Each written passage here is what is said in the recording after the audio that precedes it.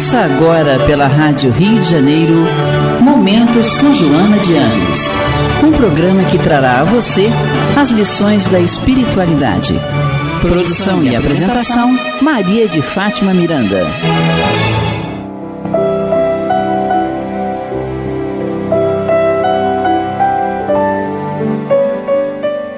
Amigos ouvintes da Rádio Rio de Janeiro, estamos retornando ao nosso estudo do livro O Homem Integral, da Joana de Ângeles, através do Divaldo Pereira Franco. Continuando no capítulo 3, A Busca da Felicidade, estudando o autodescobrimento, seria parte 2, não é? Estamos na companhia do Eduardo Araújo. E dele. E dele, o senhor Aloysio Guigino, prometendo altas falas. Como ouvinte, ouvinte. Não, não, não é impossível. Os nossos ouvintes já sabem que você está aqui, Isso. não tem mais como fugir.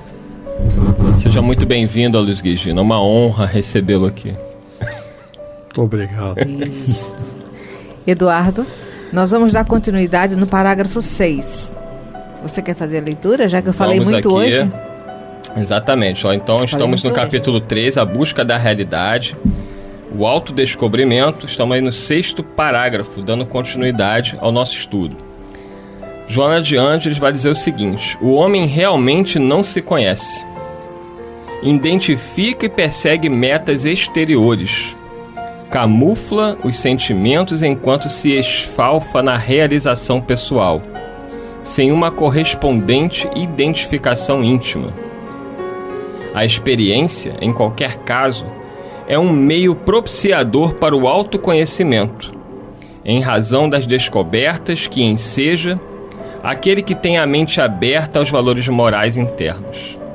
Ela demonstra a pouca significação de muitas conquistas materiais, econômicas e sociais, diante da inexorabilidade da morte, da injunção, das enfermidades, especialmente as de natureza irreversível, dos golpes afetivos, por defrontar-se desestruturado, sem as resistências necessárias para suportar as vicissitudes que a todos surpreendem.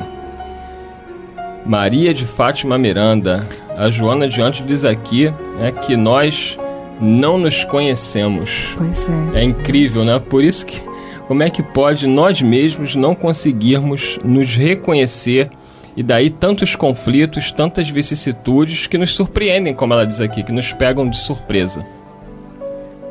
Como entender É o nosso isso? mecanismo de fuga, porque essa necessidade do autoconhecimento, Jesus nos convida a fazer isso. Mas ainda não tínhamos maturidade emocional e psicológica para compreender quando Jesus vem nos fazer esse convite. Né? E ele sabia do nosso estágio mental naquela época, por isso que ele providencia a vinda do Consolador. E o Consolador chega à Terra no momento em que a humanidade terrena já está despontando para outros valores. A doutrina espírita chega na França justamente após o Iluminismo, porque os valores ético-morais da Terra já estavam se transformando. E aí, agora, as portas dessa transformação, dessa transição planetária, que é a grande virada moral da Terra, o ser humano ele tem necessidade de paz.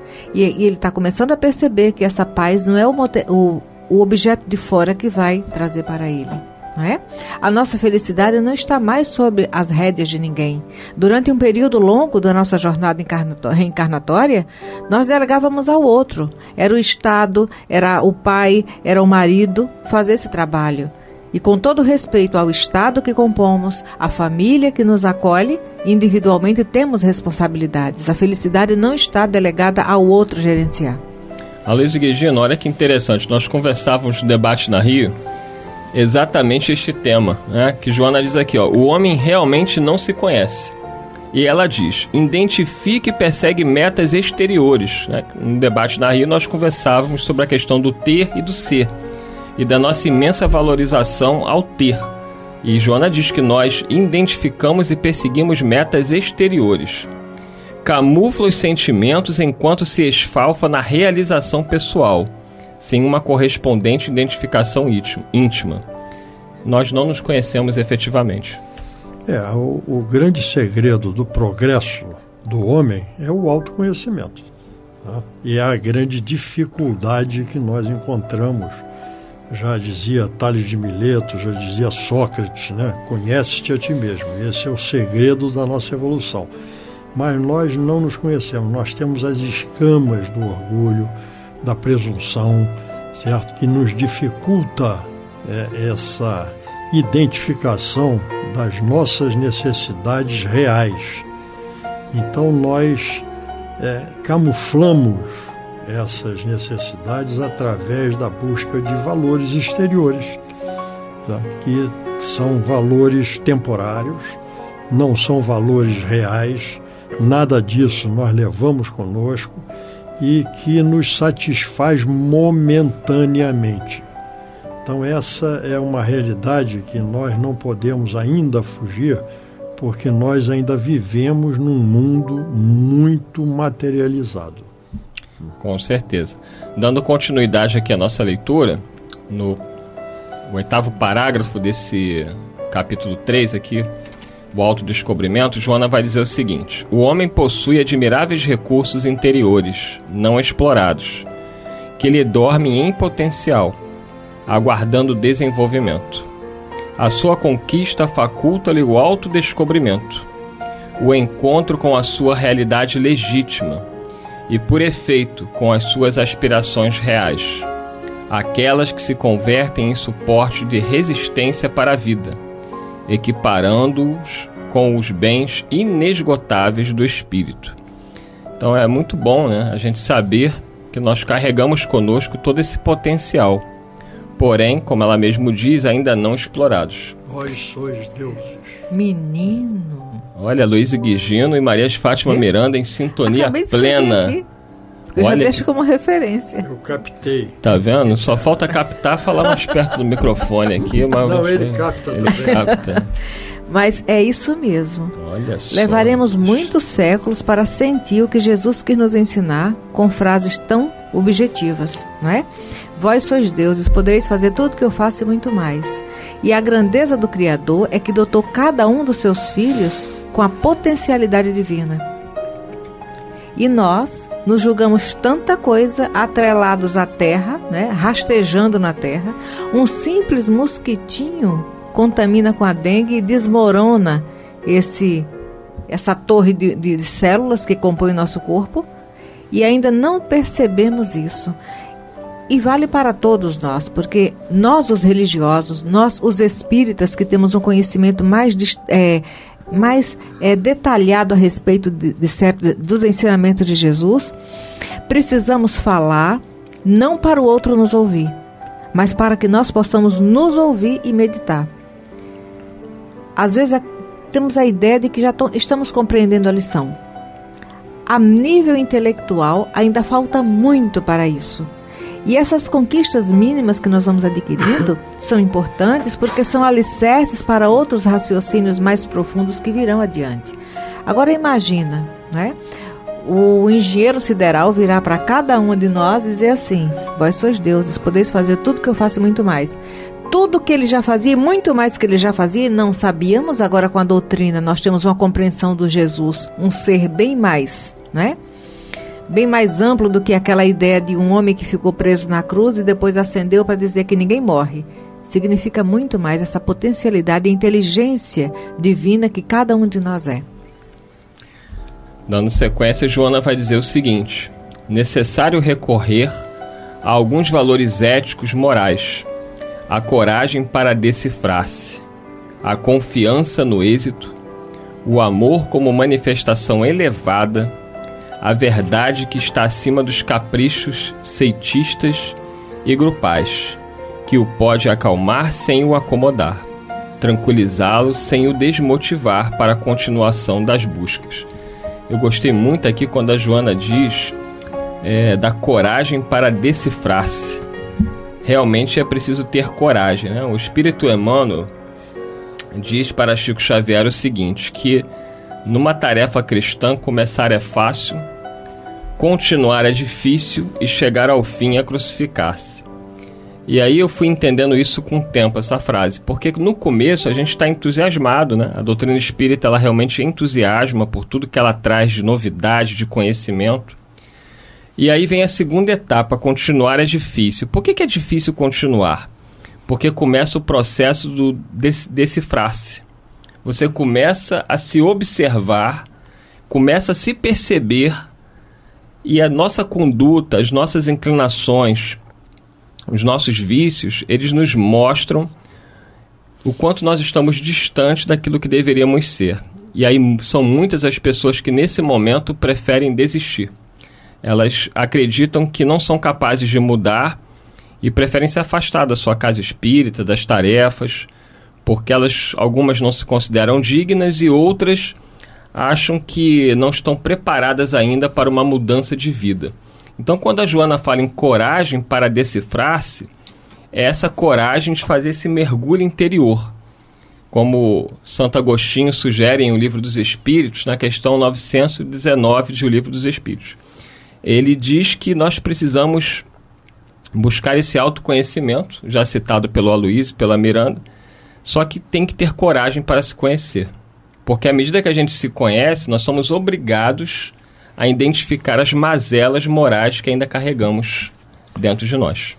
Tem uma, uma colocação muito interessante que é de um filósofo italiano, Gilberto Denucci, que ele diz que a humanidade, nós todos, é, nos comportamos como se todos nós andássemos em fila indiana, certo? carregando conosco duas mochilas, a nossa bagagem de viagem. Né? Todo viajante, nós somos viajores da estrada da evolução todos nós carregamos a nossa bagagem. Na frente, nós colocamos as nossas virtudes e nas costas as nossas imperfeições. Como nós andamos em fila indiana, nós gostamos de ver as nossas virtudes e as imperfeições de quem está à nossa frente, mas não vemos as nossas. E nós temos uma dificuldade muito grande de identificar e não gostamos quando alguém nos ajuda a identificar as nossas imperfeições. Então, esta é uma dificuldade que ainda está muito ligada, certo? basicamente, ao nosso orgulho, né? mas é uma dificuldade que nós temos que superar, porque para chegarmos ao nosso destino, nós temos que superar as nossas dificuldades.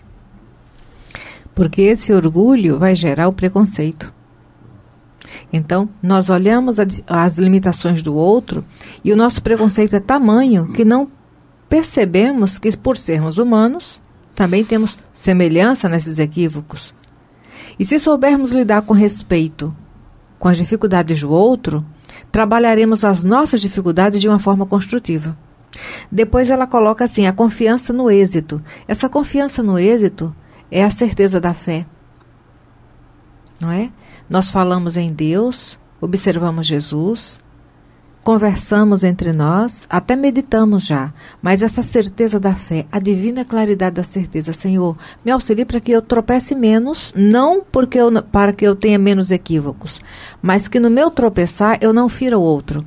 É, o nosso cuidado em não tropeçar quando nós buscamos Jesus não é pela queda, pela, pela baixa que vai acontecer em nós pessoalmente, simplesmente, mas porque com isso pode gerar uma consequência também desastrosa naquele que está à nossa volta. Todas as vezes que nós tombamos moralmente, nós ferimos alguém de alguma forma. Então, que tenhamos a sobriedade de pedir a Jesus, Senhor, me auxilie a equilibrar meu passo, a fazer escolhas mais saudáveis, para que eu tenha a aventura da paz interior no esforço individual meu, mas para que também eu saiba que já não estou sendo a pedra de tropeço na vida do meu irmão. É isso aí. Vamos dar continuidade aqui. Você está ouvindo Você o programa? Você está ouvindo Momentos com Joana, estudando o Homem Integral no capítulo 3, que fala da busca da, a busca da realidade, na companhia do Eduardo Araújo e a Luiz Guigino. Especialmente o moço da técnica, eu não conheço o nome dele hoje. Isso, ele vai falar para você já que eu também esqueci, ó, que vergonha. Vamos hoje ele não está nem prestando atenção, deixa ele. Vamos lá. É, capítulo 3, é, o autodescobrimento. Vamos aí para o décimo parágrafo. Conseguida a primeira meta, uma nova se lhe apresenta e, e continuamente por considerar-se o infinito da sabedoria e da vida. É do agrado de algumas personalidades neuróticas fugirem de si mesmas, ignorarem-se ou não saberem dos acontecimentos, a fim de não sofrerem. Lê do engano. A fuga aturde, a ignorância amedronta. O desconhecido produz ansiedade, sendo todos estes estados de sofrimento. Olha que interessante esse parágrafo, né? Vou repetir aqui para vocês. Ó. É do agrado de algumas personalidades neuróticas fugirem de si mesmas, ignorarem-se ou não saberem dos acontecimentos, a fim de não sofrerem. É, e aí de Joanas, que é um ledo engano. A fuga aturde, a ignorância amedronta, o desconhecido produz ansiedade, sendo todos estes estados de sofrimento. Realmente a fuga de si mesmo não vai solucionar os nossos problemas. Não olhar para si mesmo, não olhar para o mundo em que vivemos, não vai resolver é, o dilema da vida. Mas a busca pelo autoconhecimento e à medida que nós nos conhecemos, nos tornamos mais equilibrados, estaremos preparados para lidar com as mazelas do mundo. Joana é incisiva. Sempre. Depois de estudarmos com Joana, não sobra nenhuma cortina para nos esconder. Com certeza. Não é? E ela enfatiza muito bem tudo isso, porque essas personalidades neuróticas, graças a Deus, somos todos nós. Né? Em humanidade, são raros aqueles que já transcenderam esse estágio. Existem muitos, mas no ramerrão da humanidade que está aqui ainda, a grande maioria de nós traz essa neurose e essa personalidade doentia. E essas Porque... fugas de si mesmo, né, como diz Joana, elas acontecem muito através das drogas, sejam elas lícitas ou ilícitas, os vícios em geral. É, as pessoas vão tentando de todas as formas não terem tempo para pensar e nem para se observar. É, e por mais estranho que pareça, quando você chama a atenção delas para alguns comportamentos, elas falam assim: Mas eu fiz isso? Porque ela sequer consegue observar o que faz, quanto mais o que sente. Joana tem uma, uma página no livro Amor Imbatível Amor. Belíssimo livro. Que fala de comportamentos autodestrutivos, que são exatamente esses que você acabou de citar aí. São comportamentos que nós, muitas vezes, nós buscamos é, felicidade ou bem-estar imediato e passageiro para encobrir a nossa frustração, a nossa, a nossa problemática por não trabalharmos em nós combatendo as nossas necessidades. Problemas todo mundo tem. Né? Vocês que estão aí nos ouvindo, estão com seus problemas, nós aqui temos os nossos também. A vida tem desafios. Né? Joana tem até um livro chamado Vida, Desafios e Soluções. A questão é como cada um de nós lida com os desafios e quais as soluções nós buscamos.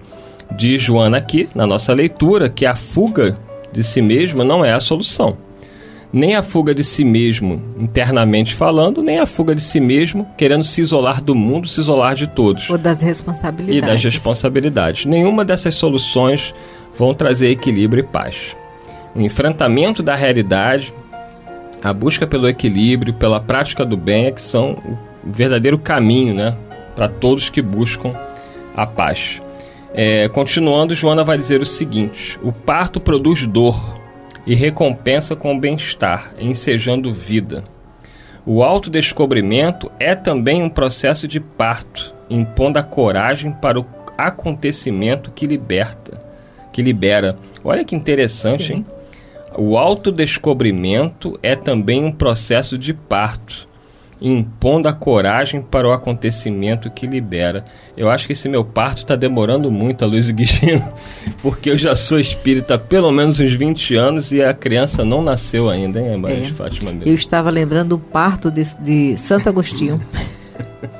Não, eu, Foram 27 eu, anos de eu discordar de você. Eu acho que a criança já nasceu. Já nasceu, mas ainda nasceu... não está em desenvolvimento. É. Ah, tá bom. Já me mas confortou, já, já, já me confortou, já me confortou. Tá engateando, mas ela vai ficar de pé. Eu pensei que ele ia acabar comigo não, agora, até que ele pegou leve. De jeito nenhum.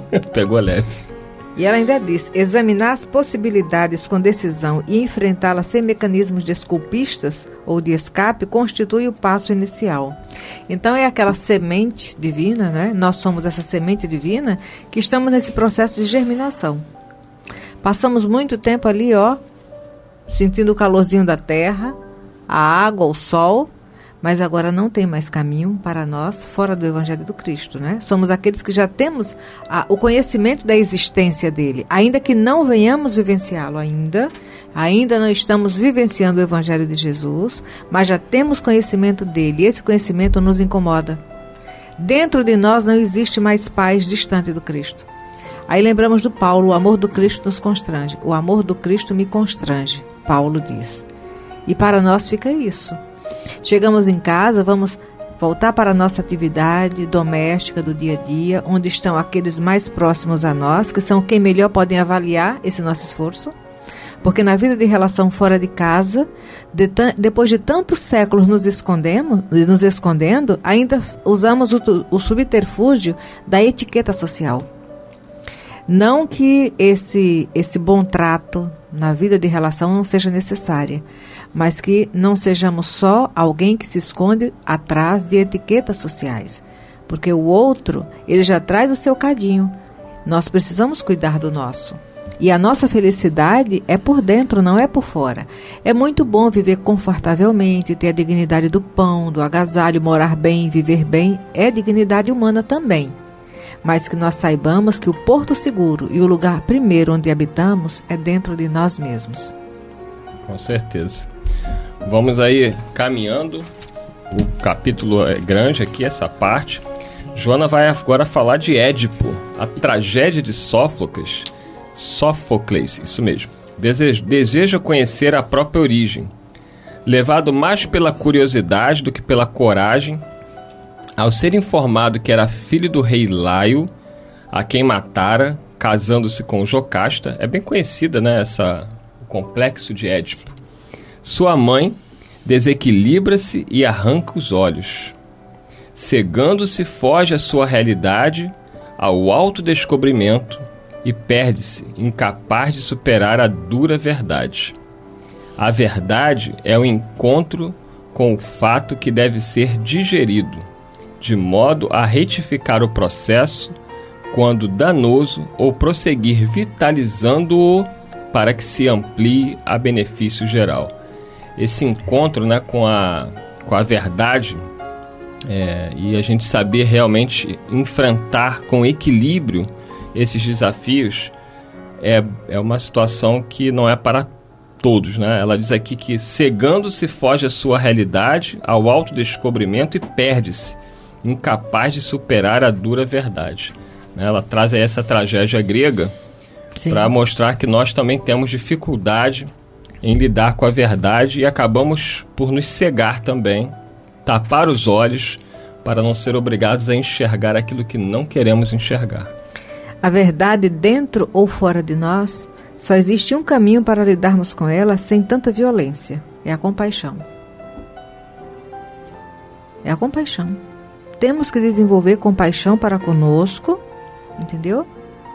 E compadecer-se de si mesmo, não é ficar no muro das lamentações mas é compreender essas limitações e saber se digno e em condições de vencê-las, de superá-las.